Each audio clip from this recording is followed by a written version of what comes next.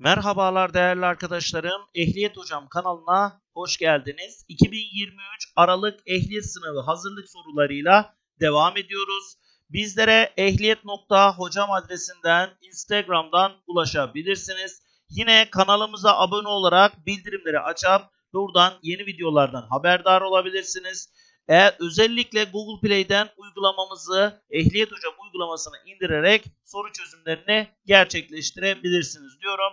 Fazla da vakit kaybetmek istemiyorum. Hemen sorularımızla devam ediyoruz canlar. Aşağıdakilerden hangisi trafik bilgi işaretlerindendir demiş. Doğru cevabımız Evet arkadaşlar bu bir trafik bilgi işarettir. Diğerleri ise trafik tanzim işaret dediğimiz işaretler grubuna girmektedir. Kutsal kalemimizi şöyle öncelikle bir açalım. Ee, bu görmüş olduğunuz bu alana yayaların girmesinin yasak olduğunu bizlere bildiriyor. Sağa doğru mecburi yönü bildiriyor. Tüm yasaklamaların bittiğini bizler için bildiriyor arkadaşlar. Belgelerinde aksine bir hüküm yoksa şehirler arası bölünmüş karayolunda tehlikeli madde taşıyan araçların azami hızı saatte kaç kilometredir? 40, 50, 60, 70 şıklarda verilmiş. Doğru cevabımız C şıkkı 60 olacak. Şekildeki numaralandırılmış şeritlerden hangisi otoyoldan ayrılmak isteyen araçlar içindir? 1, 2, 3 ve 4 numaralı şeritler şıklarda verilmiş. Doğru cevabımız A şıkkı 1 numara olacak. Arkadaşlar ok yönüne baktığınız zaman zaten buranın çıkış, buranın ise 4 numaranın yani giriş olduğunu anlayabilirsiniz. Geriye kalan 3 numara ve 2 numaradaki şeritler zaten birbiriyle eşit şeritlerdir. Taşıt yolu yani kaplama üzerine çizilen çizgilerden hangileri kurallara uymak şartıyla araçlar tarafından geçilebilir? Kesik yol çizgisi, devamlı yol çizgisi, yan yana iki devamlı yol çizgisi. Yalnız 1, 1 ve 2, 2 ve 3, 1, 2, 3 şıklarda verilmiş. Doğru cevabımız yalnız 1 olacak. Devamlı yol çizgisinde kesinlikle sollama yapılmaz. Yan yana iki devamlı yol çizgisinde ise kesinlikle şeritler değiştirilmez arkadaşlar. Şekildeki gibi bir kavşakta karşılaşan araçların geçiş hakkı sıralaması nasıl olmalıdır? 1, 2, 3, 4 Özür dilerim. 1, 2, 4, 3 2, 1, 3, 4 2, 3, 4, 1 3, 1, 2, 4 Doğru cevabımız B şık olacak. Değerli arkadaşlarım, burası bir kontrollü kavşaktır. Bunu anlayabilmek için tabelaların olması yeterlidir. Tabelalar olmasaydı yer işaretlemesi var mı buna bakacaktık. Veyahut da ortada polis abimiz var mı buna bakacaktık. Bunlardan herhangi biri var ise burası kontrollü bir kavşak olarak adlandırabiliriz. Ya da ışıklı cihaz. Gördüğünüz gibi burası kontrollü bir kavşak. O halde ana yoldakiler yani şu işaretin olmuş olduğu taraftakiler ana yol tali yol kavşağını ifade eder bu. Ve eğer bunu görüyorsanız ana yoldasınız demektir. Bakın aynı tabeladan burada da var ters dönük olsa da. Demek ki burası da ana yol, burası da ana yol. O halde bu ikisinden birinin önce geçmesi lazım. Ama burada geçiş üstünlüğüne sahip bir araç olduğu için öncelikle polis abimizin geçmesi, daha sonra diğer 3 araç tek kalır. Bu 3 araçtan birinin geçmesi gerekir. O halde bir numara ana yolda olduğu ve düz gittiği için önce geçer. Daha sonra ana yolda bulunan ve dönüş yapan araç geçer. En son tali yolda bulunan 4 numaralı araç geçecektir. Gördüğünüz gibi ters üçgen olan bu levha bize yol ver anlamını taşımakta ve bunu gören araç karşıdan gelen veya da yanlardan geçecek olan araçlara yol vermesi gerekir. Bakın yine aynı şekilde ters üçgen zaten bir tane tabela var. Burada yine görebiliyorsunuz. Fan motoru çalıştığı halde motor suyunun soğumamasının sebebi aşağıdakilerden hangisidir? Radyatör petekleri tıkanmıştır. Araç lastiklerinin havası fazladır. Soğutma suyunda antifriz vardır. Soğutma sisteminde termostat yoktur. Doğru cevabımız radyatör petekleri tıkanmış ve gözeneklere gidemeyen su otomatik olaraktan soğuması da durmuştur. Araç lastiklerinin soğutma suyundaki antifrizin ve veyahut da termostatla hiçbir alakası yoktur. Aşağıdaki durumların hangisinde karayolları trafik yönetmeliğinin aynı cins taşıtlar için tayin ettiği hız sınırını aşan taşıt sürücülerine ceza verilmez. Kavşaklara yaklaşırken, sağa veya sola dönerken, bir başka araç tarafından geçilirken, iki yönlü karayolunda öndeki araç geçilirken.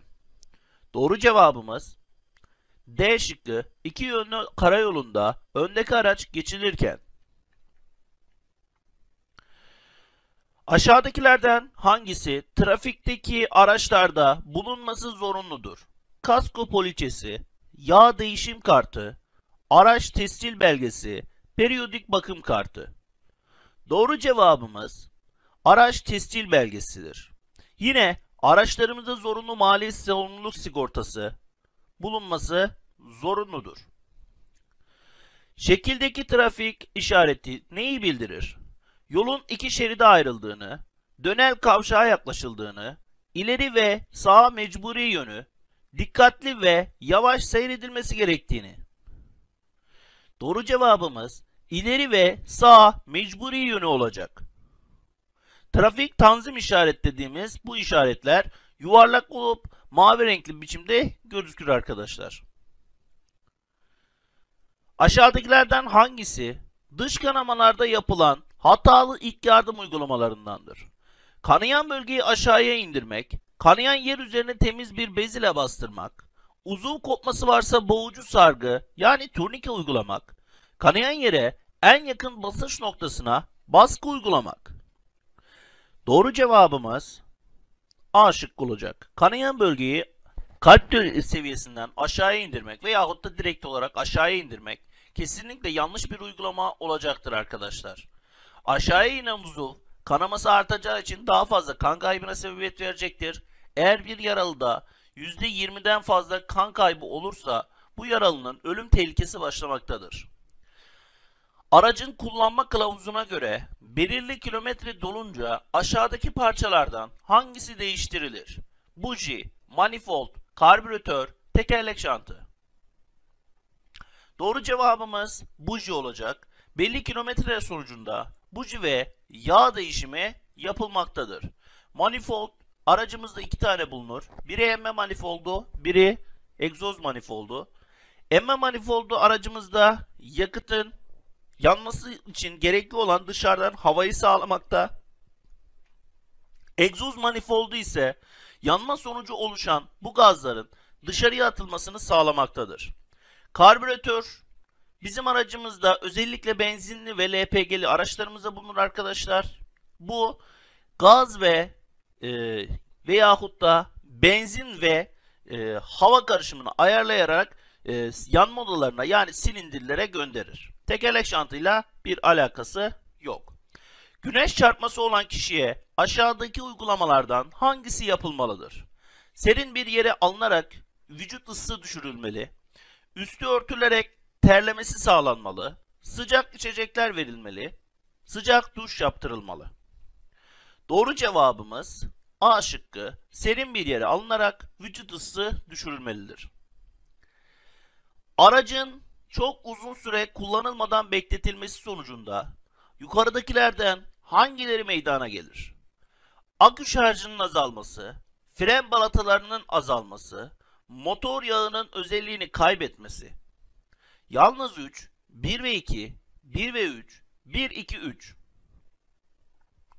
Doğru cevap 1 ve 3 olacak. Şekildeki trafik işaretinin anlamı nedir? Ehil hayvan giremez. Ehil hayvan geçebilir. Vahşi hayvanlar geçebilir. Vahşi hayvanlar giremez. Doğru cevabımız C şıkkı. Vahşi hayvan çıkabilir, geçebilir anlamındadır. Verilenlerden hangileri trafiğin çevre üzerindeki olumsuz etkilerindendir? Egzoz havalarının gazlarının hava kirliliğine neden olması, gereksiz yere ya da gereğinden uzun kornaya basılması, araçların egzoz borusu ve susturucularında orijinalliğin korunması. Doğru cevabımız 1 ve 2 olacak. 3 e, biliyorsunuz e, zaten bunun yapılması gereken bir şey olduğunu olumsuz yönde etkileyen 1 ve 2'dir. Hararet yapmış bir motorda radyatör suyu çok sıcak değilse aşağıdakilerden hangisinin arızalı olduğu düşünülür? Fan müşürü, termostat, fan sigortasının, klima kompresörünün. Tabii ki de bizim sıcaklığı ölçüp bize bildiren aletimizin kafasında bulunan termostatımızın önemli olduğunu görüyoruz. Burada termostatta herhangi bir arıza söz konusu ise ne olacaktır arkadaşlar? Ee, çok sıcak veyahut da çok e, düşük gösterebilir. Ama genelde çok sıcak gösterip de eğer içeride bir şey yoksa termostat arızalanmıştır. Aksine bir işaret yoksa eğimsiz iki yönlü dar yolda minibüs ile kamyonun karşılaşması durumunda hangisi diğerine yol vermelidir? Minibüs kamyona, kamyon minibüse, hızı fazla olan diğerine, yolcu sayısı fazla olan diğerine. Doğru cevabımız kamyon minibüse. Bununla ilgili olarak şöyle söylemiştik. Abiler küçüklerine öncelik tanır.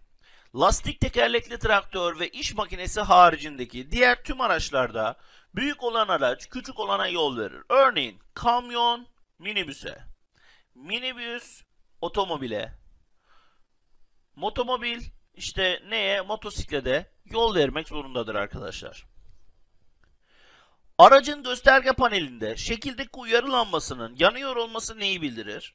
Lastik basıncının çok düştüğünü, el freninin çekili olduğunu, sis lambalarının yandığını, fren balatalarının bittiğini.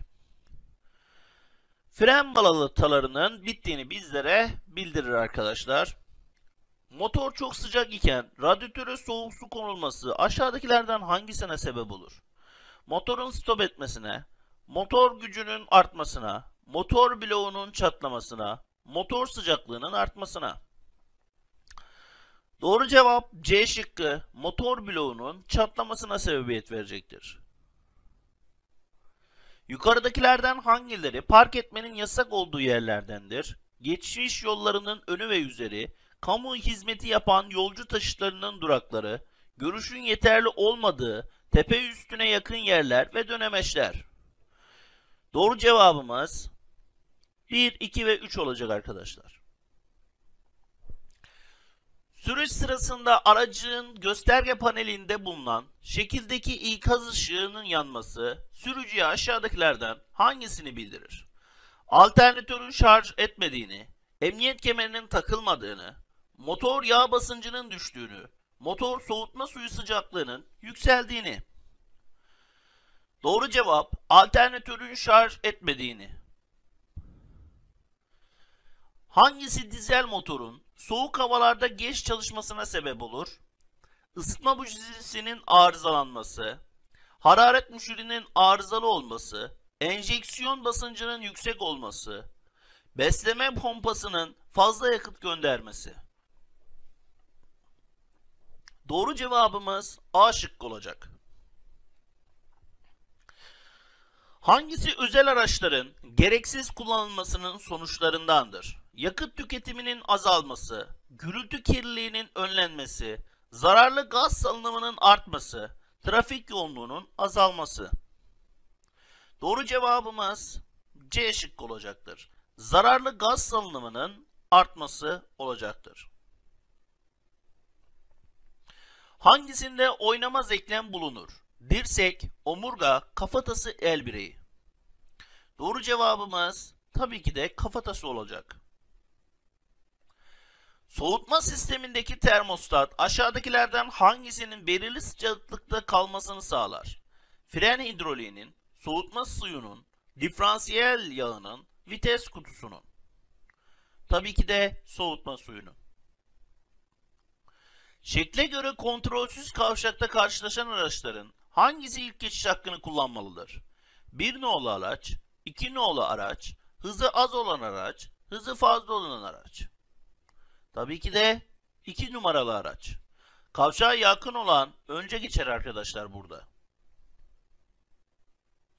Oynar eklemi oluşturan kemik uçlarının birbirinden ayrılmasına ne ad verilir? Burkulma, kırık, çıkık, incinme. Birbirinden ayrılıyorsa çıkıktır arkadaşlar. Kırık ise burada ayırt edemeyeceğiniz anatomik bütünlüğün bozulmasıdır. Burun kanaması olan bir kazazediye aşağıdakilerden hangisinin uygulanması yapılması doğrudur? Sırt üstü yatırılıp başın geriye alınması, sümkürtülerek burun içinin temizlenmesi, burun köküne ve enseye sıcak uygulama yapılması, baş ve işaret parmakları arasına alınan burun kemiğinin kuvvetlice sıkılması. Doğru cevap D şıkkı olacak arkadaşlar.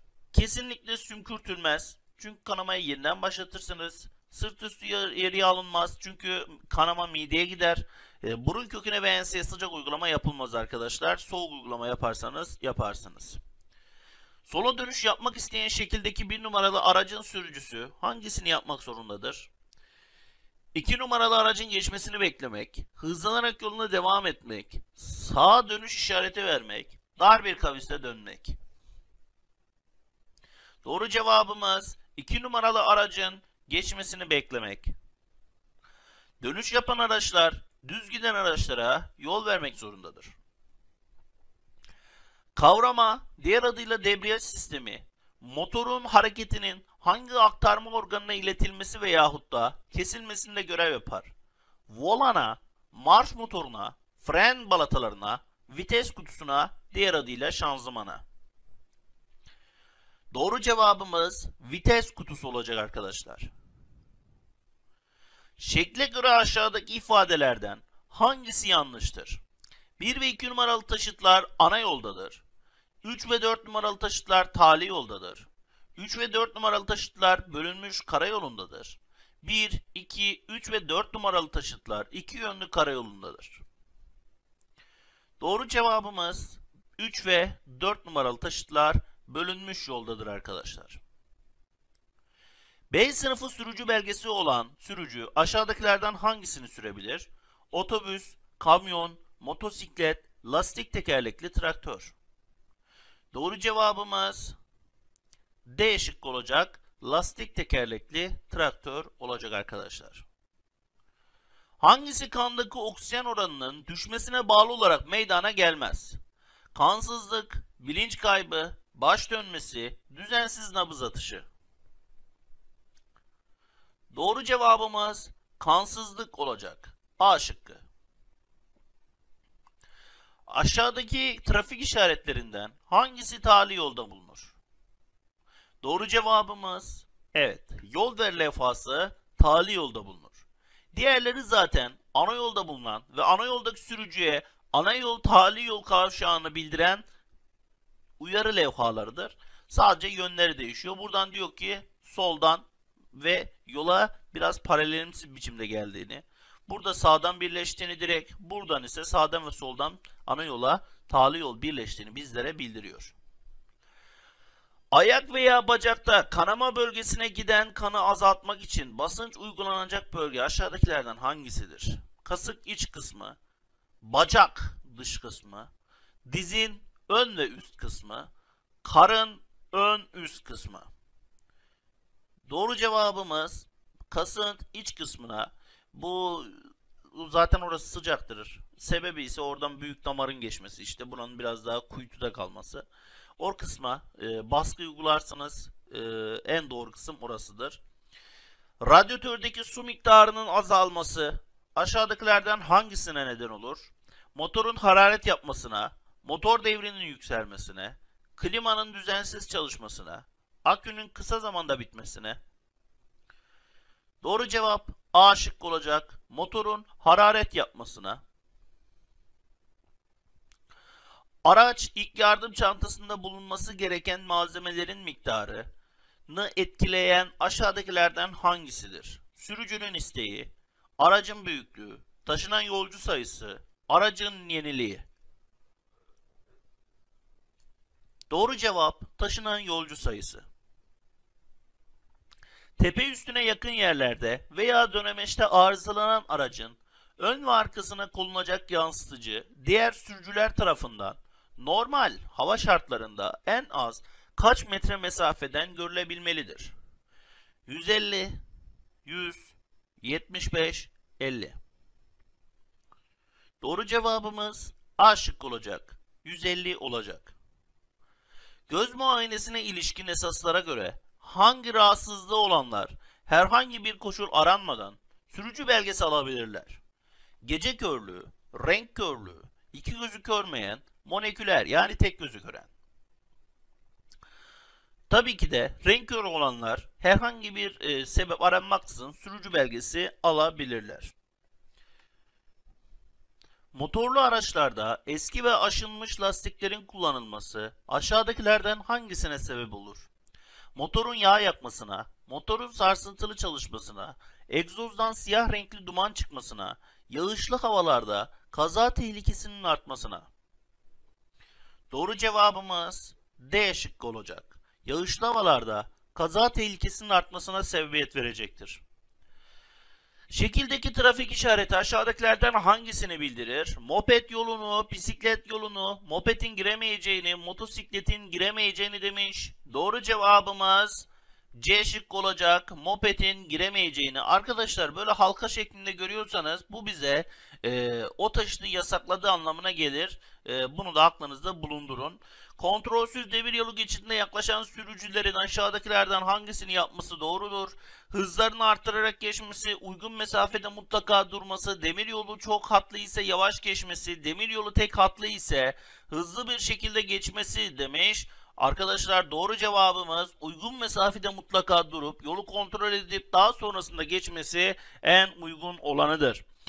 Hangisi park etme kuralıdır? Araçta bir gözcü bulundurmak, aracın anahtarını park görevlilerine teslim etmek, 5 dakikaya geçemeyecek şekilde beklemek, park yerindeki araçların çıkışını engellemek. Doğru cevabımız C şık olacak. 5 dakikayı geçmeyecek şekilde beklemek olacak arkadaşlar.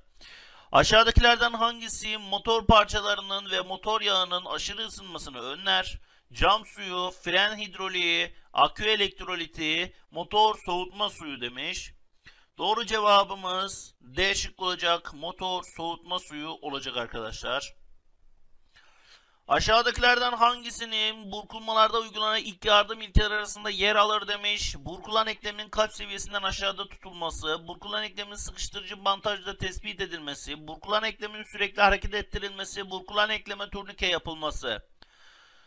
Doğru cevabımız tespit etme olacak. Yani B şıkkı arkadaşlar. Burkulan eklemin sıkıştırıcı bandajla sabitlenmesi, tespit edilmesi gerekir. Hangisi duran aracı güvenli bir şekilde bulunduğu yere tespit etmek amacıyla kullanılır demiş. Doğru cevabı direkt vereceğim. Tabii ki el freni arkadaşlar. El freni duran aracı sabitlemede kullanılır. Yolda hareket halindeyken el frenini kaldırırsanız araç durmayacaktır arkadaşlar. Bunu da ayrıyetten bildirmek isterim. Resimde görülen pozisyon aşağıdaki durumların hangisinde uygulanır? Kalp durması, bacak kemiği kırılması, solunum yolu tıkanması, delici göğüs yaralanması. Arkadaşlar eğer herhangi bir e, delici göğüs yaralanması varsa biz bu pozisyona yara oturuş pozisyonu deriz. Bu pozisyonu uygularız. Solunum yolu tıkanmalarında hemlik manevrasını uygularız. Bacak kemiği kırılmalarında e, atel uygulaması yaparız. E, kalp durmasında ise kalp masajı yaparız. İnsanların işitme sağlığını ve algılamasını olumsuz yönde etkileyen, fizyolojik ve psikolojik dengeleri bozabilen, iş performansını azaltan, çevrenin hoşsuzluğunu ve sakinliğini yok ederek niteliğini değiştiren çevre kirliliği türüne ne ad denir demiş. Oh bildiğin paragraf yazmış adam. Ee, ses, duyuru. Arkadaşlar zaten bakın e, işitme diyorsa yani gidip de e, görüntüyle ilgili bir şey aramayın zaten. İşitme sağlığını olumsuz yönde etkileyen ses, Aa, bu, bu, bu da bir ses. Aa, bu da bir ses. Duyuru. Duyuru yapılabilir. Konuşma alakası yok. Arkadaşlar bunlar zaten olağan şeyler. Ama gürültü zaten bunun aşırı derecede olması demek. Doğru cevap D şıkkı. Trafik kazasına karışan kişilerin tümü yetkililerin gelmesini gerekli görmez ve anlaşırsa durumu aralarında yazılı olarak tespit etmek suretiyle olay yerinden ayrılabilirler. Yukarıdaki ifade hangi tür kazalarda geçerlidir? Arkadaşlar sadece maddi hasarlı kazalarda geçerlidir. Bunun dışındaki tüm kazalarda ne yapmanız lazım? Polise, cendermeye Sorumuz şöyle. Olay yerindeki araç sürücüsü ilk yardımın temel uygulamalarından hangisini gerçekleştirmektedir demiş değerli arkadaşlarım. Bir kaza olmuş. Hemen böyle reflektörler konulmuş. Abimiz bir şeyler yapıyor. Acaba bu adam ne yapıyor? Koruma yapıyor mu arkadaşlar? Bence pek de koruma ile ilgili bir şey yapmıyor. E, kurtarma ilgili bir şey yapıyor mu? Bence onu da yapmıyor. Sallanıyor. Elinde bir şey var. Aa ne yapıyor? Telefonla konuşuyor. İşte biz bu aşamaya arkadaşlar bildirme aşaması diyoruz. Doğru cevabımız bu yüzden B şıkkı olacak. O yüzden kendimizi yormuyoruz. Hemen B şıkkını işaretliyoruz ve yolumuza devam ediyoruz.